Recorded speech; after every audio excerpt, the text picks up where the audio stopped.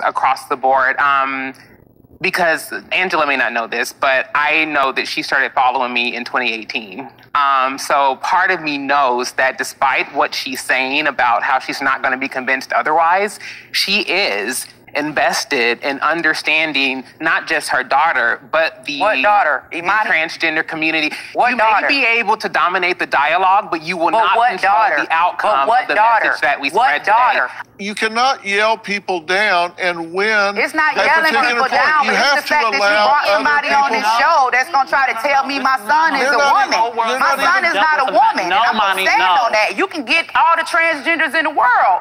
He's not a woman. If you're secure in your belief, let someone else speak. You- You're being very disrespectful. But you want me to listen to I'm not somebody asking that's you to telling do me my anything son is a except allow someone that's else to speak. disrespectful. Please hear me, because believe it or not, contrary to what you may think or believe, I'm rooting for both of you. I am invested in the relationship that you have with your daughter because according to Well, you can't a survey, be. You can't be because to, hold on, hold on, hold on. You can't be interested in me and him having a relationship because first you're disrespecting me as a parent. I am not disrespecting disrespecting I you. feel as though I am not are. disrespecting you. Because I gave you me- credit for on, your no, no, for no, what no, you're doing. No, no, no, no. No, you're not When you going. said- Yes, you are disrespecting her as a parent.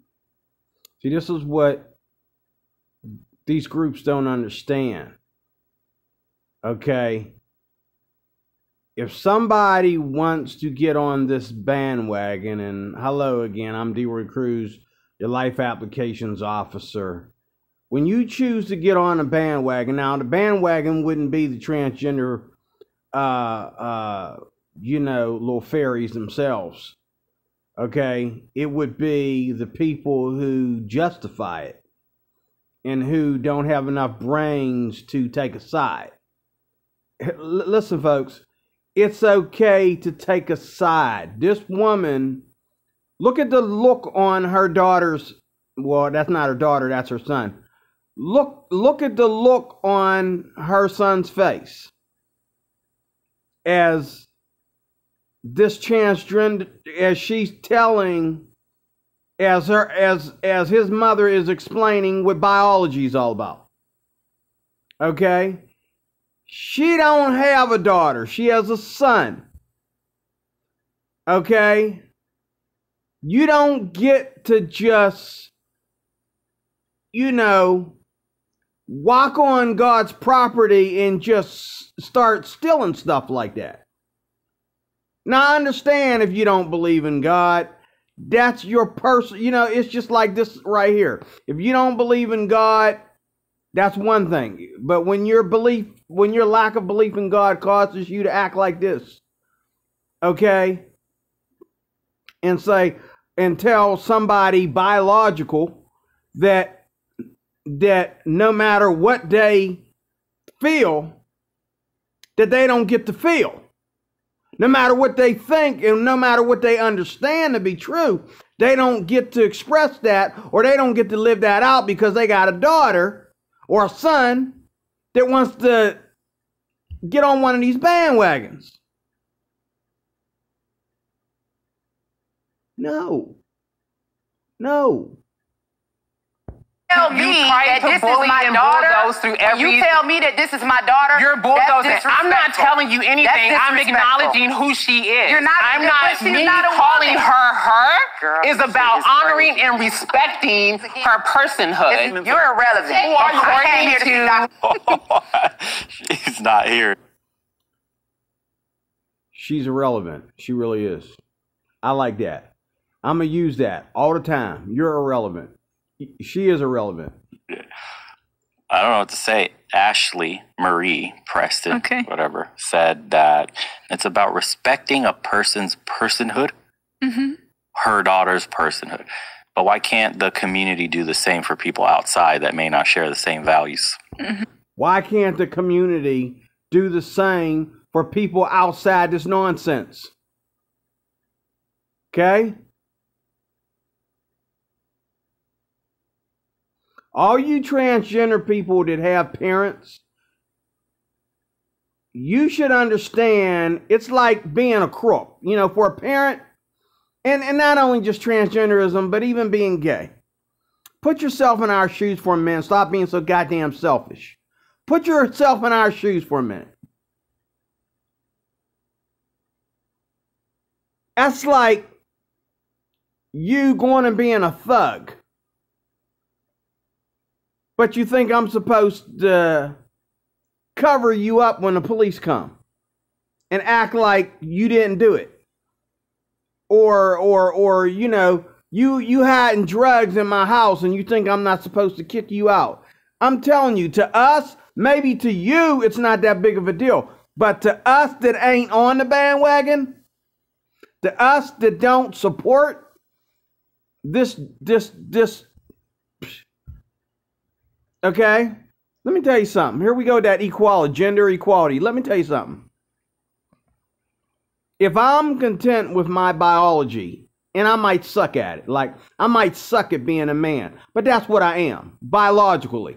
Now spiritually maybe i could do better as a man but biologically i'm a man 100% spiritually i might be a man half that. Okay, there's the physical and there's the spiritual, okay? Um what was I going to say? Um if I'm content with my biological self and you think that I owe you something cuz you decided to, to to to form yourself into a woman made by men you decide to make a silicone woman out of yourself. And then you want to come around me and act like I'm supposed to treat you like a woman that I know, which I don't. And I'm supposed to just accept the fact and treat you like you, you know what I'm saying?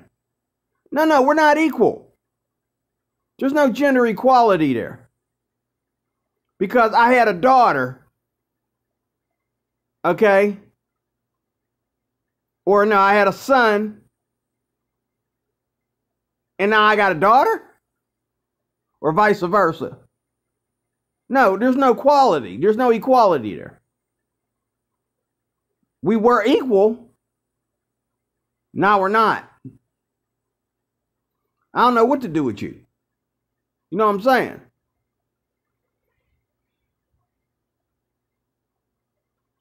And it's not fair for you to just assume and that's and this is why, you know, the schools are bringing in Disney and and Disney's doing this and this is why the the the schools are bringing in these these activists and these queers these these these silicone people. Um, you know, this is why they're bringing them in there to teach you this nonsense because biologically you will not accept it. It has to be forced on you for you to accept it. This is what I mean when I talk about bandwagons. But I was watching this and I had to go and look at it, okay? Why is it cancel them or phobic this? And um, do we remember who Ashlee Marie Preston is? Yes. A bigot herself? Mhm. Not alleged. Years of tweets going back. Very racial. Mold. Against Asian people, calling them all kinds of names, Mm, right? yeah. Interesting to see her not practice what she's preaching. This these lines of inclusivity and having respect for other people. I guess that it doesn't count when you're attacking an Asian person. Or anybody in general. But Mm-hmm. the excuse was um, those were alcoholic fueled rages. So 10 plus Mm-hmm. And years. she's changed since then. Yes, 10 plus years of alcoholic fuel rage, but we'll go back 20, 30 years of what somebody else did, what they like to label us as cisgendered. we'll go back 30 years of that one time you said that one thing that gets dug up and now it's canceled Mm-hmm. forever. Weird how that works.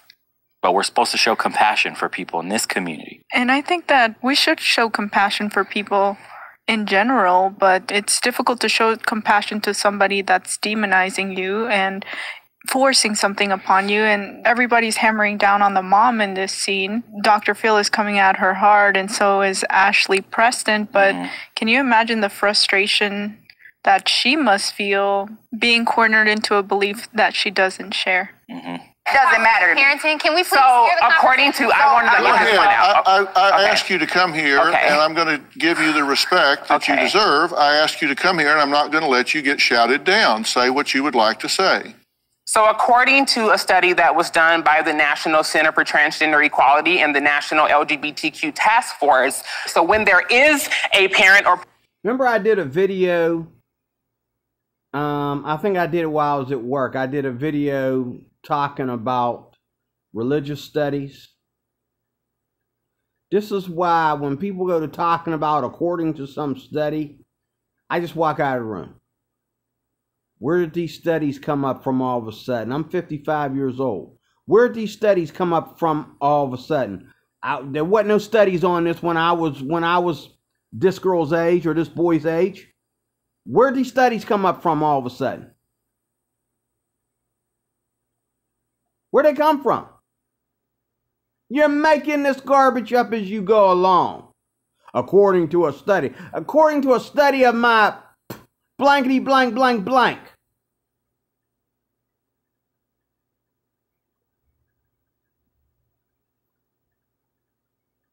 Oh, I want you to hear what she says. It's dumb.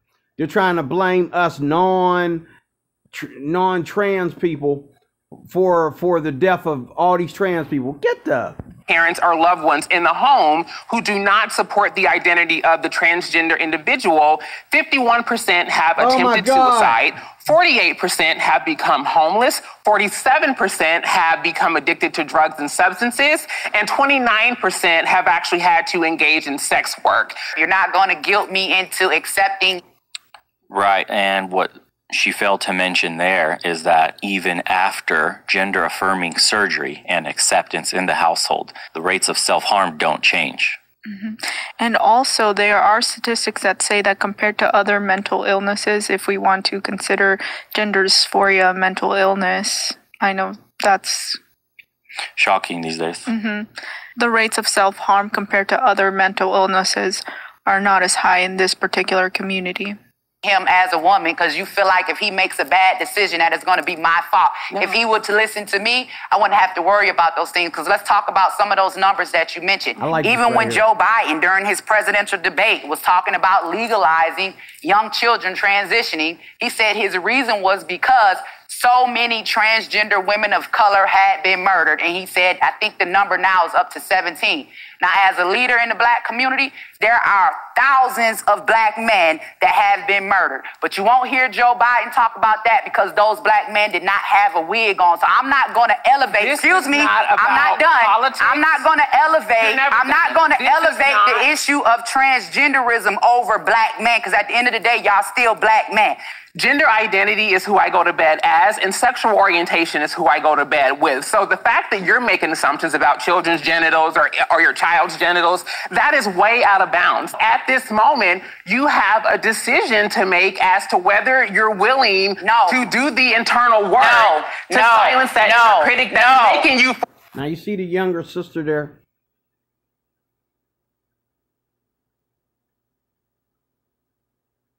I know what's going to happen because it happened to me. See the younger sister there?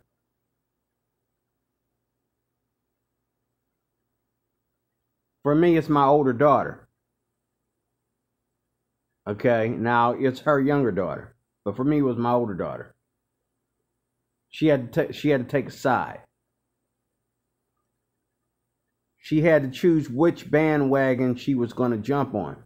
My older daughter is not gay, but she had to choose. Now, when I go to see my kids, my older daughter's all hugs. My older daughter is glad to see me, and you know what I mean. My stepchildren are glad to see me.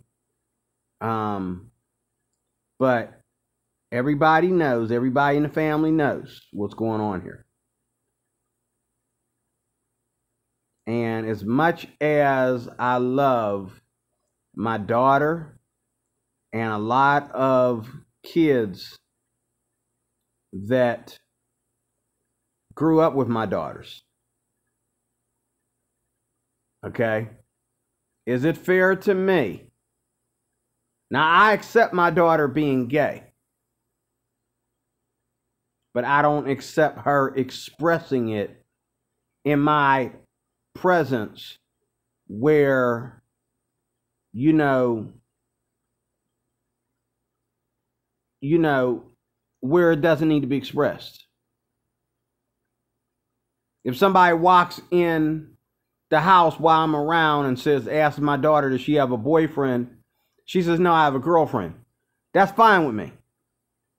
But I'm not going to go into details like this, but there's just certain things you don't do around me. Okay? Now you say, well, well, heterosexuals shouldn't do it around around gays or gays and transgenders either. Okay, fine. We won't do it around each other. But one thing for sure.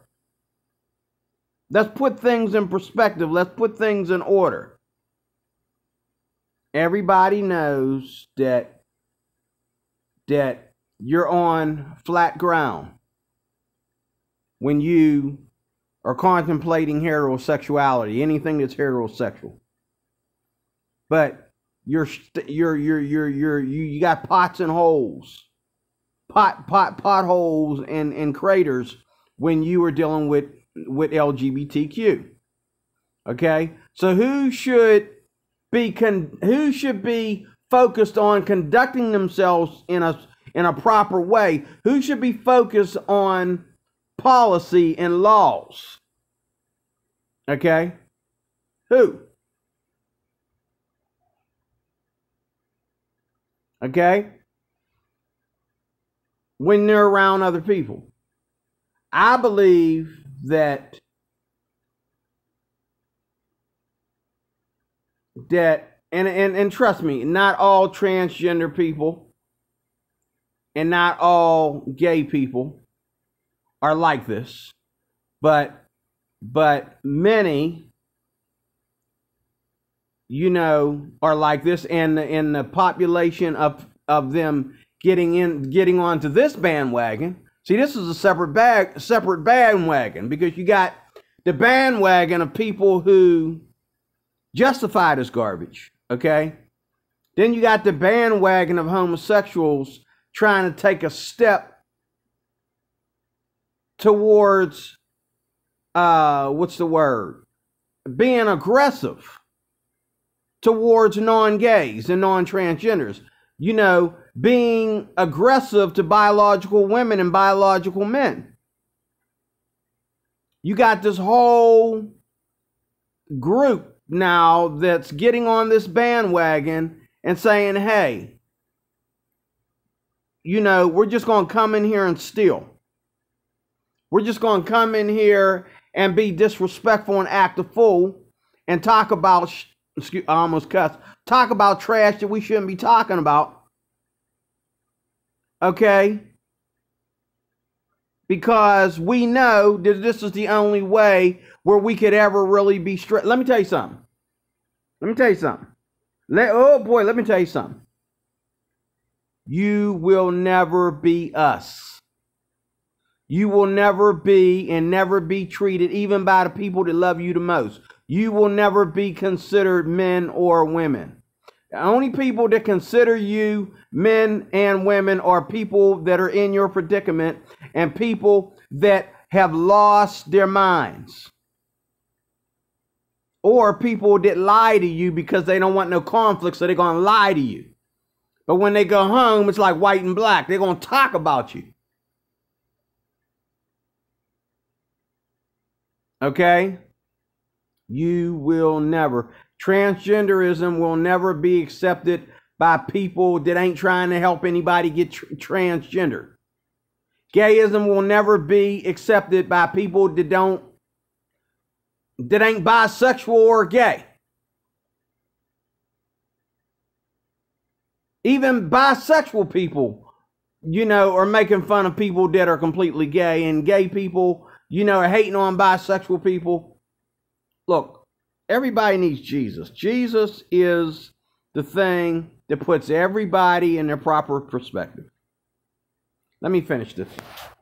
Force your children to carry your shame. Okay, okay, no, we All right, we're going to take a break. We'll be right back. Yeah, I don't know what to say. It's just this debate will constantly be heated because the two opposing sides were, are going to refuse to come meet in the middle. There is no middle here. It's my way or the highway. You either fully believe in the trans ideology or you don't at all.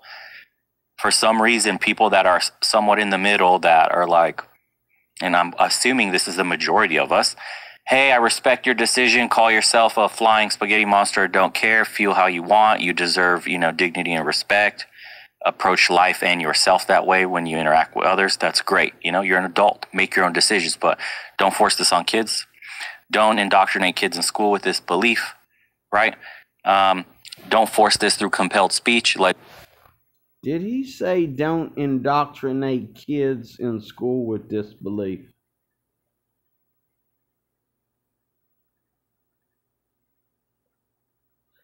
Preach, brother, preach. legislation. If you want society to change, it has to be a culture shift, but not forced upon it. I don't think there's anything that you can do to change your gender. I think your gender is rooted in biology. I don't think you can change your biology. I mean, it comes down to every fiber of your being. Mm. But yes, if you want to live your life in a certain way, you want to transition to the opposite gender, you have every right to do so, and you should have every protection under the law to do so. But it becomes interesting when they mention children.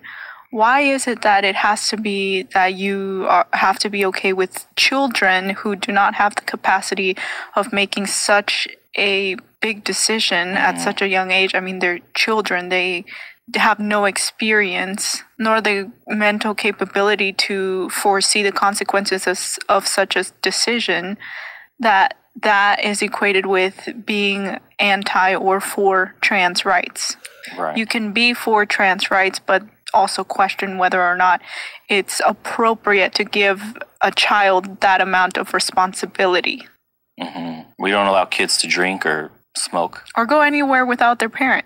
right? But they we're allowing them to make a decision like gender affirming surgery, right? This is very invasive. This is permanent. Yeah, and that seems to be where the conversation continuously goes because now it's getting into younger and younger children being able to um, go through these gender affirming procedures. And I saw a crazy tweet this morning. It was in regard to Lia Thomas, the swimmer. Um, a person was arguing that if a transgender athlete started their transition when they were kids, then yes, totally, there's no difference. Or, excuse me, before puberty that yes they should be allowed to compete in women's sports and i'm like wow the solution to this is making little kids Transition. transition that sounds insane to me Yeah, and this inclusivity is at the exclusion of women and women's space. Um, I don't want to watch the whole thing. Um, I want to see if We're seeing it, and then they're cons- they're like, you have to call me a woman. I'm a woman. The the perfect example of this was the GameStop trans woman that was like, I'm a woman. What did he say? No. Oh, ma'am, it's ma'am, and they're starting to meme that person, right? And it's like, imagine that person competing against women that has undergone very little physical changes mm-hmm. from the biological male's perspective. So the issue people have is there's not one set, clear, definitive what makes you a trans woman and what makes you a trans man. It's kind people are falling into this. Well, I didn't gender affirm completely. Well, I kind of felt this way yesterday. I'm gender fluid. I feel this way tomorrow. i think that that's you know that only makes sense if you believe in the premise that you can change your sex. Personally, I do not believe that you can change your Right. sex or your gender or whatever you want to call it. Um, so to me, it doesn't really matter. Even if I look at you and I can't tell that you were born a biological male, you're born a biological male and you're a trans woman, uh, sure. And I will call you she and respect you because you're another person and I believe in the value of human dignity and a human life. But does that mean that you are the same as me, a biological female? I think Absolutely not. Mm-hmm. Exactly. And for the people trying to just wrap their heads around all this and be somewhere in the middle and pragmatic, you know, reasonable, it's hard when you have people that are so militant about the ideology. Mm-hmm. And I mean, these ideas have consequences because I also saw an interview by the father of one of the girls who was supposed to compete against Lia Thomas in the championships. And, you know, they keep it very PC, obviously, some type of statement written with some help. Of course. Because you're cornering people into having to comply into a certain belief because what what are they going to say? We think this is completely unfair. To do what? To eliminate the chance for his daughter to get some type of sponsorship deal because if you become um, some sort of pariah that goes against you know these beliefs, and they're not going to make you the face of any advertising. Right, you're getting asked off. I'm gonna stop there. Um, the bottom line is that uh,